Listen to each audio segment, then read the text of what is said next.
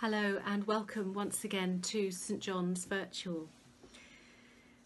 There is a story about Martin Luther, the 16th century German reformer.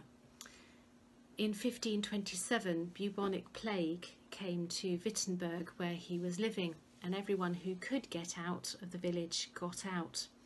The Elector of Saxony, who rejoices in the name of John the Steadfast, ordered Martin Luther to leave, but Luther refused. Along with his pregnant wife Katharina, Luther stayed in Wittenberg, even opening up his house as a, as a kind of like a hospital ward for the sick. In 1527, no one knew very much about plague, but they did know it was a particularly awful disease. The symptoms were terrifying and the fear of it was even worse. They knew that it was highly contagious and would most likely kill you in the most horrible way.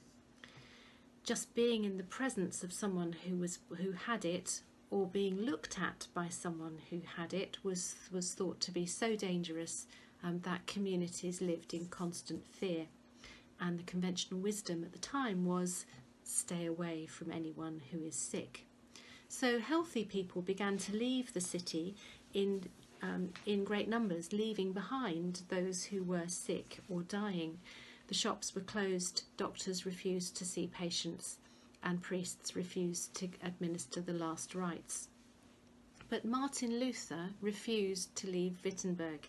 He chose to stay to look after those who were sick and even brought those who were seriously ill into his own home. So someone asked him if it was okay if you were a Christian to leave the city, and he wrote some pastoral advice entitled Whether One May Flee from a Deadly Plague, and I think it has resonances for today. And he wrote, I shall ask God mercifully to protect us. Then I shall fumigate, help purify the air, administer medicine, and take it. I shall avoid places and persons where my presence is not needed in order to become contaminated and thus perchance inflict and pollute others and so cause their death as a result of my negligence. If God should wish to take me, he will surely find me, and I have done what he has expected of me, and so I am not responsible for either my own death or the death of others. If my neighbour needs me, however, I shall not avoid place or person, but will go freely as stated above. See, this is such a God fearing faith, because it is neither brash nor foolhardy and does not tempt God. In essence, then, in the face of an epidemic, Luther has a five point plan, and that is number one, trust God. Number two, pray for protection for ourselves, for our friends, neighbours, and families. Number three, make the most of the technology available. Number four, do all we can to help others. And number five, perhaps most importantly, use common sense. Sound familiar? Well, I think today we could do worse than stick to that five point plan formed nearly 500 years ago. So to, for today, we are in the capable hands of Peter Graystone, and I'm delighted to welcome him back. He's going to offer us some reflections on our reading today. So let's hear our reading. Thank you. Today's reading is taken from Paul's letter to the Galatians, chapter 5, starting at verse 18. But when you are led by the Spirit, you are not under the law. When self indulgence is at work, the results are obvious sexual vice, impurity, and sensuality, the worship of false gods and sorcery, antagonisms and rivalry, jealousy, bad temper and quarrels, disagreements, factions and malice, drunkenness, orgies, and all such things. And about these I tell you now, as I have told you in the past, that the people who behave in these ways will not inherit the kingdom of God.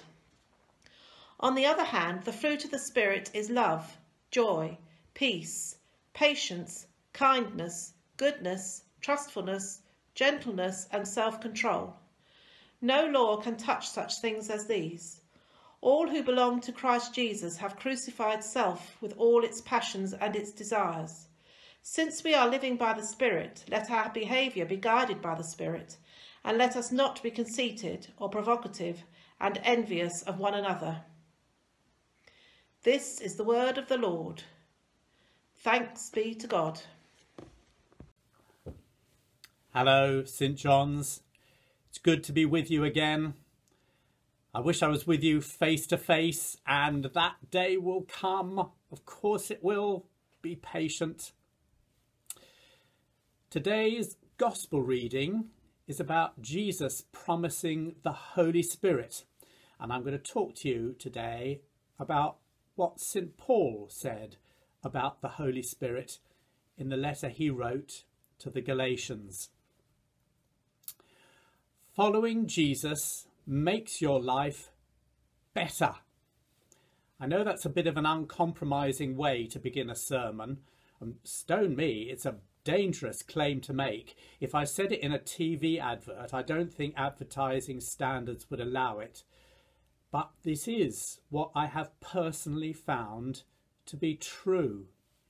And in the ordinary business of earning money, sorting out relationships, going to church, doing the shopping, I sometimes think we forget why we're doing this whole Christianity thing. The reason for it all sort of gets lost in the undergrowth of living from day to day. Why are we Christians? It's because following Jesus makes your life better. Blimey, I've said it twice now. I'm going to have to come up with something to back it up. A conscious choice to follow Jesus changes people. If you've made that choice, then day to day you are accompanied and directed through life by an unseen presence. In his last days of earthly life, Jesus promised that. He said that even when he was no longer walking and talking with people, he would be with them in an absolutely real way, in spirit form. And that spirit would be holy. It's usually unspectacular having the Holy Spirit dwell in you, but it's actual, and when you're aware of it, it gives genuine enrichment to your life. In Galatians, which was our epistle reading today, St. Paul described signs of the Holy Spirit of Jesus burgeoning in someone's life. When someone becomes a Christian, they can expect to notice a noticeable increase in things like love, joy, peace. They're going to uh, experience more patience, more kindness, more goodness. Their lives will improve as people because they will be increasingly faithful, more gentle, have more control over themselves. These are great things. They're not illegal. They're not immoral. They're not fattening. Who could possibly not want these things in their life? They make your life better. I'm willing to admit that occasionally people oversell the Christian faith to those who don't go to church by saying that it's going to be like fireworks at midnight every single day of your life, which it clearly isn't. But most of the time, I think we undersell the improvement that we have in our working life, relationship life, leisure life, because of these undramatic but very positive qualities bearing fruit. I am relentlessly positive about the Christian faith and its founder, Jesus. It is good news.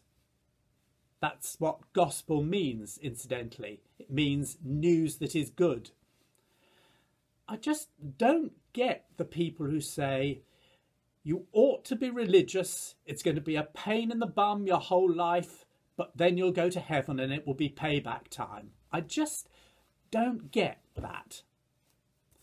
The reason that I'm a Christian is that after I made a decision that following Jesus would be the mainstay of my life, several remarkable things happened. I found an extraordinary sense of purpose in life.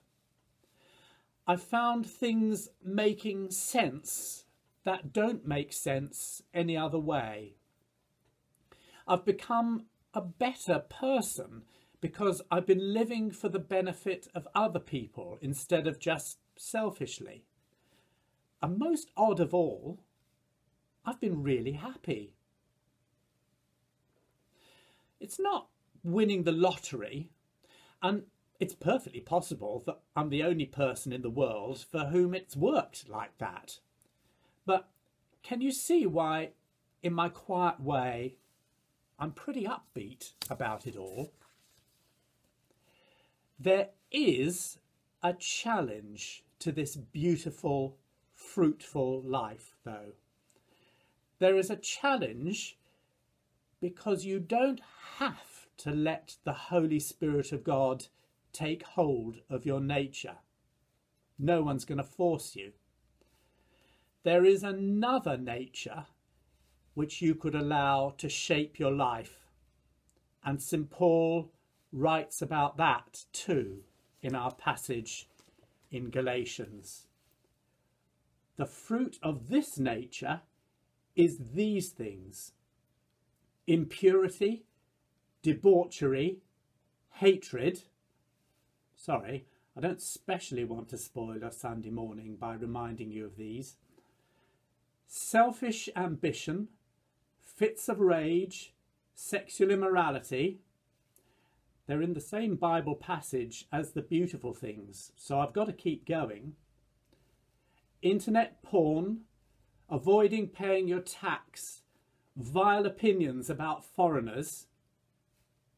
That's strange. I'm sure they weren't there the last time I looked. Road rage, trolling people on Twitter, going on the lash and waking up in a gutter. I really am going to have to get my eyes tested, you know. Don't go back to these, writes Paul. For the love of love, joy, peace, and all the others, don't go back to these. And then, in this passage in Galatians, he uses one of those weird metaphors that make you want to skip a few verses and get back to an easy bit which I would do normally, but I'm not allowed to when I'm preaching a sermon. Thanks. Here we go.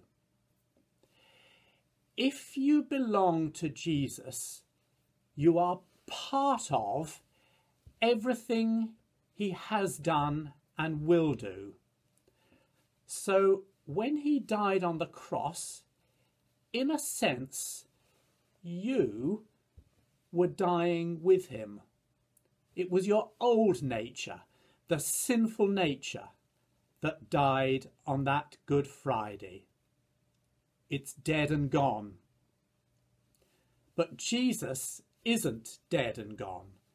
Since Easter Sunday, Jesus is alive.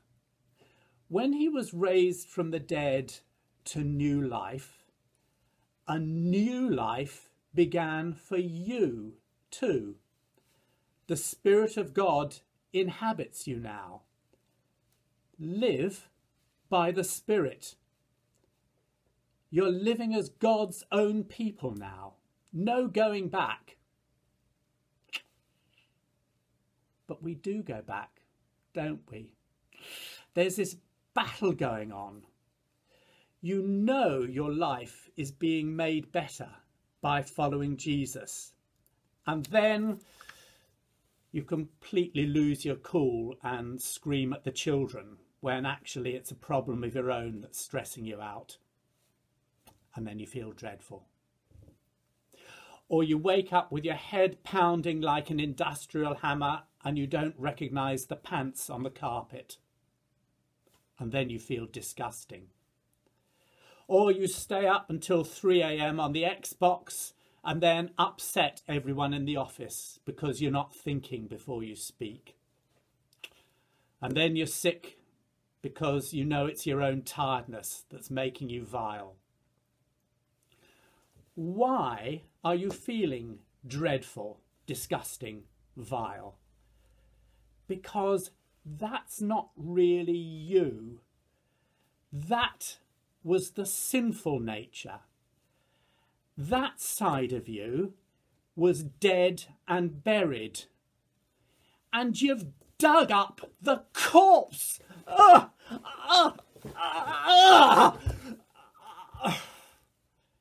No wonder you feel so. But the fruit of the Spirit is love, joy, peace, patience, kindness, goodness, faithfulness, gentleness, and self control. I mean, that's enough to get you back on track, isn't it?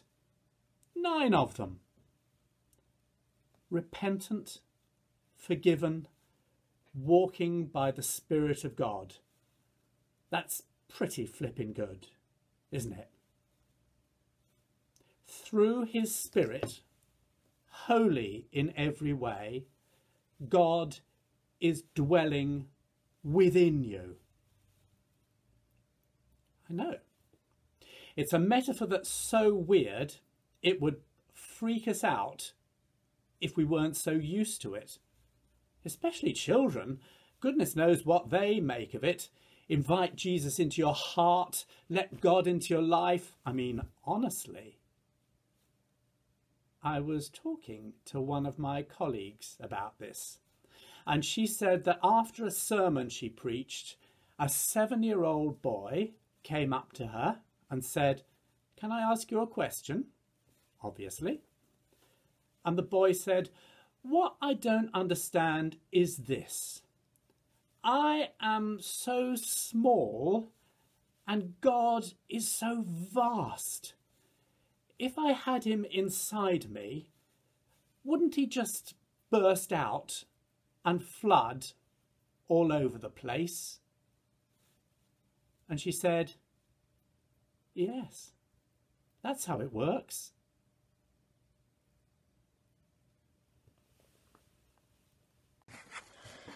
I'm going to start these prayers with a poem sent to me by a friend who heard it on the radio.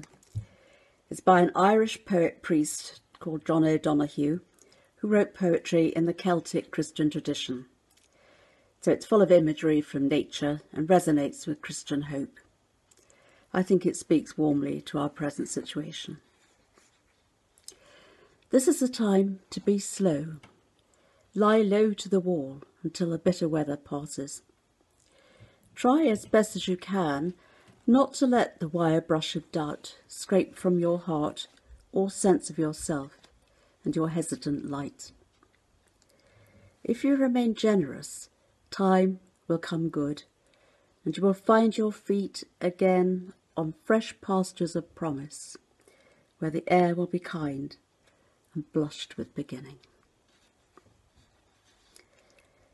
Father God, at this time of suffering and sorrow, of anxiety for ourselves and others, we thank you for Easter, for your risen Son, who gives us hope for new life and a glorious heaven.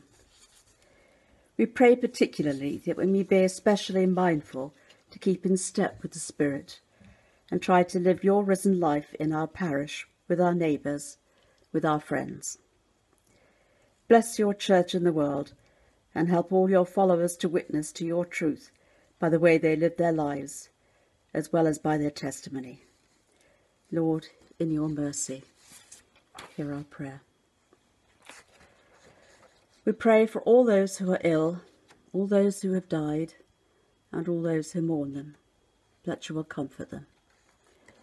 We pray particularly for those in our parish who need our prayers, including Sheila Arnold, David Kreitzman, Jean Dalgleish, and Barbara Ewing. That your love and peace may surround them, Lord. And for those in our parish who have recently died, including Cecile Jean Charles and Beryl Ross. And for those whose years mind fall at this time, including Annie Elizabeth Thomas, Christopher Moore, Ivy Taylor, Kate Inge, Kate Burton, John Medrow, Judith DeFellon, Renee Taylor, Leslie Stevens, Lillian Harmer, Mavis de Barbara, Pamela Fleming, Muriel Inge, Edward Roberts, Robert Luckett, and Barry Richardson. May they rest in peace and rise in glory.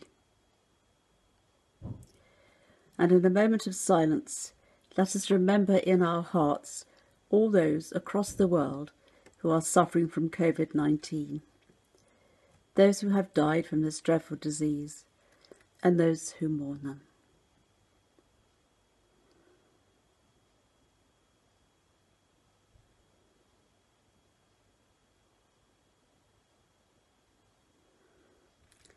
Lord, in your mercy, hear our prayer. We thank you, Father God, for all the good things that are happening at this time, for the concern and kindnesses shown by many in our community. We pray for all those who are working so hard for us, for doctors and dustmen, scientists and shelf stackers, for delivery men and bus drivers, for our neighbours and our friends, and for those in our family, families or known to us who are working on the front line in healthcare, transport, retail, education. Lord, in your mercy, hear our prayer. We pray for our country, that when this is all over, we may work for a new society which is concerned for the environment, so that we may retain the lovely fresh air that we are now breathing. We pray that we may hold on to the new values that we are now learning to prioritise, where care and love are more important than money and new possessions, so that we may live lives full of joy, love, peace, patience, kindness, goodness, faithfulness, gentleness, and self control. And we pray that we may soon find ourselves in a place where the air will be kind and blushed with beginning. Merciful Father, accept these prayers for the sake of your Son, our Saviour, Jesus Christ. Amen. Thank you. And now it's my privilege to pronounce God's blessing for all of us. Hold us, O strength of our hearts Rescue us, O Saviour and Friend. Anchor us, O Guiding Spirit, that we may know ourselves kept in the security that only you can bring, in that peace which indeed passes all understanding. Amen. And may the blessing of God, the one who calls and the one who challenges, be with us, each one of us, now and forever. Amen.